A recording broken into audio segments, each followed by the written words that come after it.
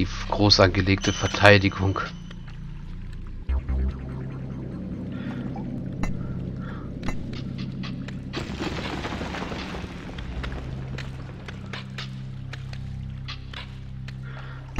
Ist er immer noch unglücklich? Nein, er hat was zu essen gefunden.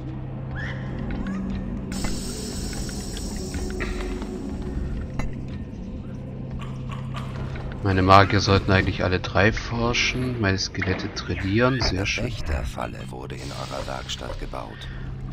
Gut.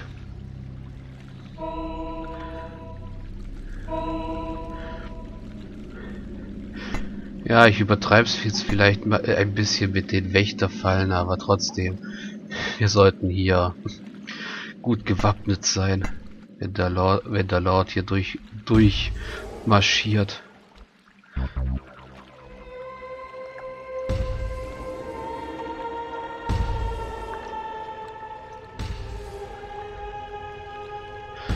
So, jetzt bauen wir noch eine Brücke zu... Ein Geschöpf ist in eurem Kerker gestorben und als Skelett wieder auferstanden. Diesem Wachraum hier... Euer Zauberspruch Symbiose wurde verbessert. Eine Wächterfalle wurde in eurer Werkstatt gebaut. Hm, können uns da ein bisschen ausbreiten.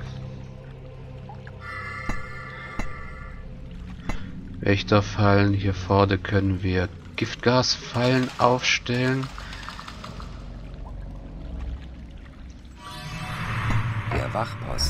Als Alarmanlage und ruft alle Geschöpfe in ihren Wachräumen dorthin, wo der Alarm ausgelöst wurde. Na gut, den, den brauchen wir nicht unbedingt. Aber verstärkte Türen können wir gebrauchen. Ihr habt noch fünf Minuten Zeit.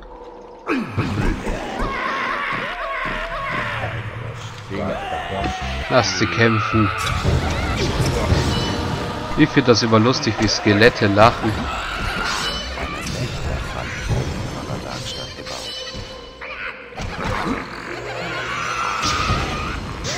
Ja, das ist eine richtige Todprügeltruppe.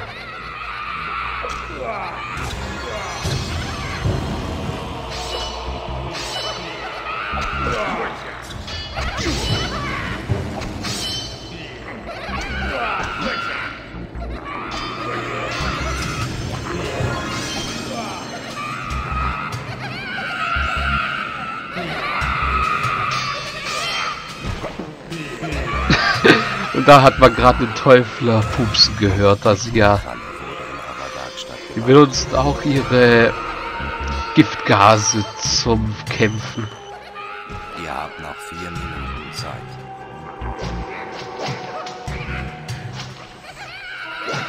Eine Gasfalle wurde in eurer Werkstatt gebaut.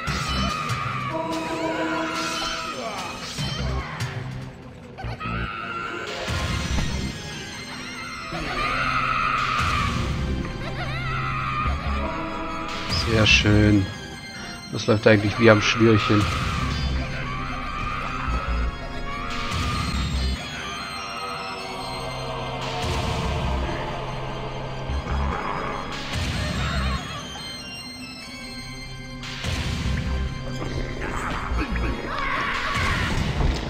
Alles in den Trainingsraum mal reinwerfen. Das, was nicht mehr trainieren kann, auch doch nicht mehr trainieren.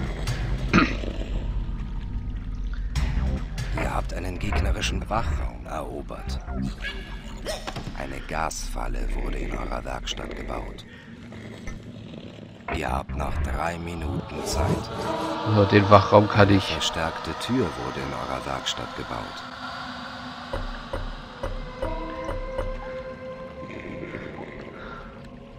Kann ich mal abreißen, den Wachraum.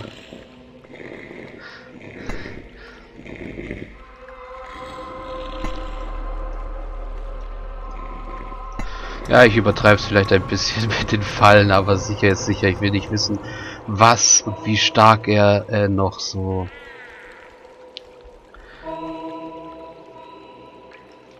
und so Fusseln hat. Aber ich denke mal, das sieht schon weit gut aus. Dann verkaufe ich mal hier die Brücke.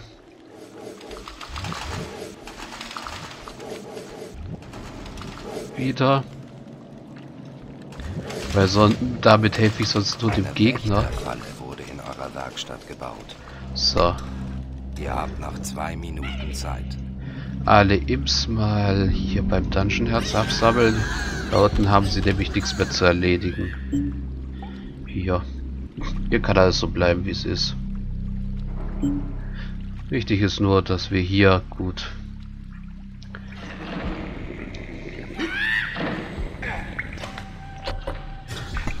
vorbereitet sind.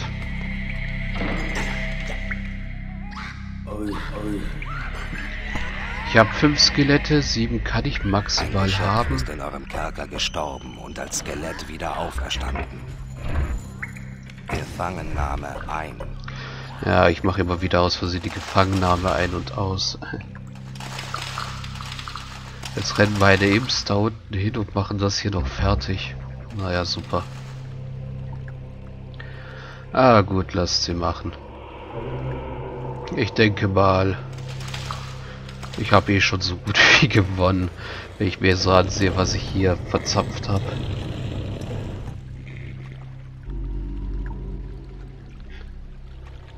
Höchstens das Spiel ist jetzt so gemein und hat irgendwo noch einen zweiten Weg, den ich nicht kenne. Aber ich glaube nicht, dass die jetzt, dass die jetzt so unfair sind, obwohl es ist ein altes Spiel. Das ist noch hart, etwas Trainingsraum. Nein, brauchen sie nicht.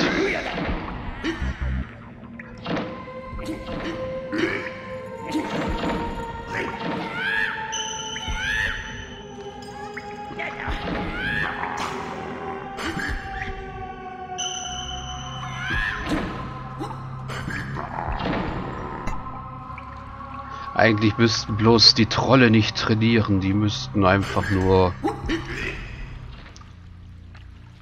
rumwuseln. Gut. 3, 2, 1. Seht, wie der Ritter und seine Gefährten in dieses Land eindringen.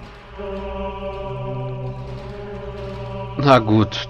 Die, ich, ich, ich rechne schon fast damit, dass meine äh, Wächterfallen alleine mit dem bisschen hier zurechtkommen, was hier auf uns zukommt, aber sicher ist sicher. Lasst erstmal den Raum hier passieren. Äh, alle Imps, die nichts zu tun haben, die hauen da mal ab.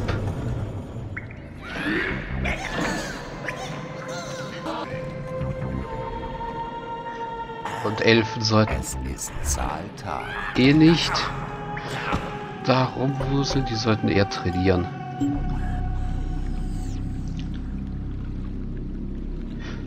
Du auch weg da. Ja, das wäre lustig, wenn der eben im Trainingsraum trainieren könnte. Aber da in Imps leveln ja eigentlich durchs Buddeln und Sachen in Besitz nehmen.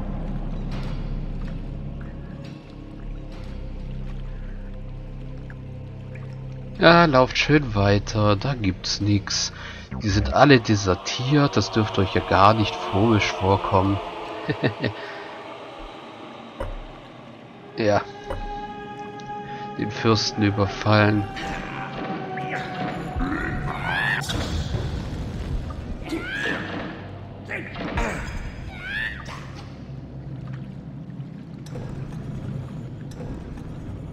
Sobald er so hier Er von meinen Fallen unter Beschuss genommen wird, werde ich eine, äh, ein Zusammenrufen loslassen auf, auf meinem Wachposten. Da werden ja alle, alle meine Kreaturen dahin hin, äh, rennen und ihm den Rest geben, falls er die Fallen überhaupt überlebt.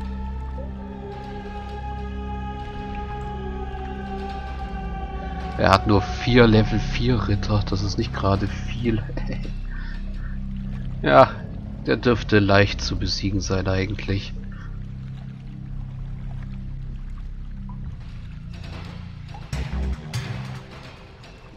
Der liebe Landsherr Wos wird sich ähm, gleich winden unter meiner, unter meiner übertriebenen Feuerkraft hier.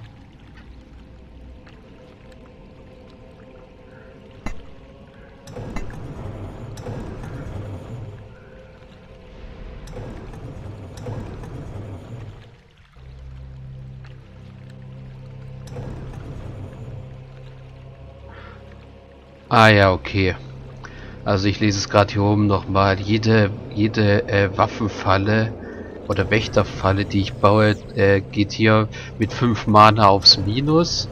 Und jeder Schuss, den sie habt, kostet 250 Mana. Also ob, ob die ähm, Idee jetzt so gut war, dass ich äh, so viele gebaut habe davon.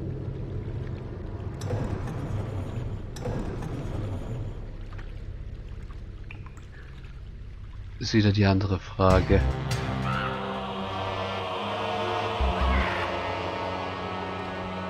Das werden wir ja sehen. Also, ich wähle schon mal den Zusammenrufenzauber aus.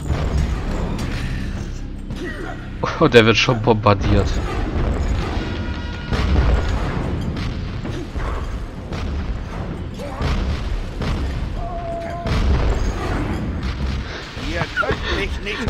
Das ist so übertrieben. Und er ist schon tot.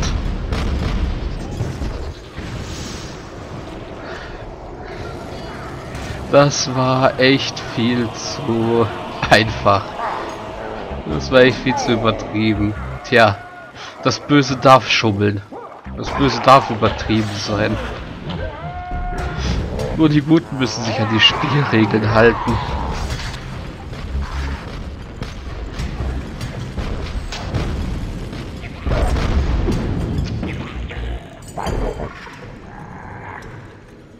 So, und Hordi schnappt sich den Kristall. Und damit haben wir schon Mission 9 gewonnen. Sehr schön.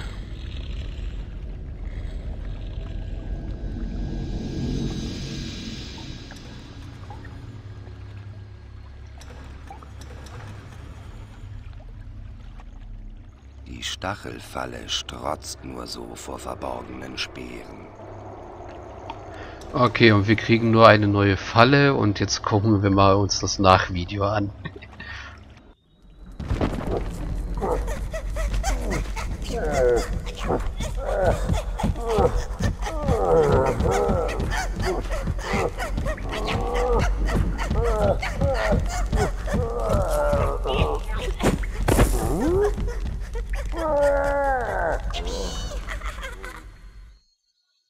Dieser Wichtfürst Voss dachte, er könne genug Verbündete zusammentrommeln, um gegen euch zu bestehen. Aber die Geschwindigkeit ist im Kampf eine weit wichtigere Waffe.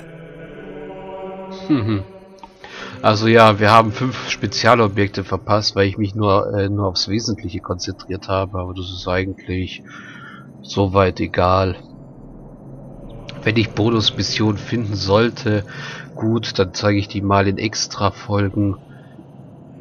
Aber ansonsten geht es jetzt nur um die Hauptmission. Also ich mache mir jetzt hier nicht extra die Mühe, hier einen 100% Durchlauf zu machen. Ich mache einfach bloß...